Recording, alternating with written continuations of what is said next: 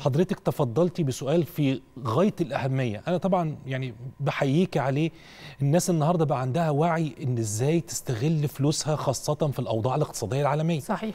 وابتدى في اهتمام كبير جدا كل شوية الناس تقول لك هو وضع السوق عامل إيه؟ مم. سواء بقى سوق سعر الصرف أو الفوائد شكلها إيه في البنوك أو البورصة النهارده تتحرك إزاي؟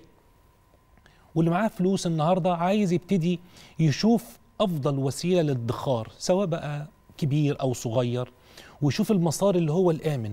إحنا عايزين نهتم يا دكتور بعد إذنك بصغار المستثمرين لأن دي فئة مش قليلة. دلوقتي الشاب اللي لسه متخرج وبيشتغل والبنت اللي لسه بتتخرج وبتشتغل عايزين يستثمروا وعايزين يبنوا لنفسهم.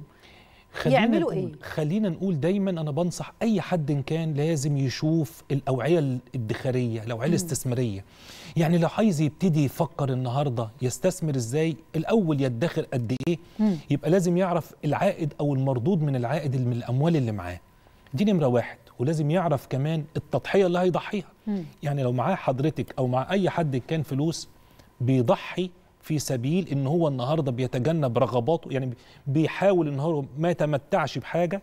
في سبيل إن ياخد الفلوس دي يستثمر بيها. التضحية دي النهارده مقابلها عائد يعني لازم يحط فلوسه مثلا في البنك هياخد فوائد كبيرة. صح؟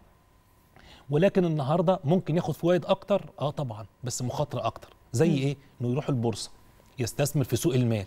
طب ممكن النهارده يستثمر بس الاستثمار في سوق المال ده مش عايز متخصصين. آه طبعا. ما هم متخصصين ما هم موجودين وهم دايما اللي بيقوموا بدورين في غاية الأهمية. مم.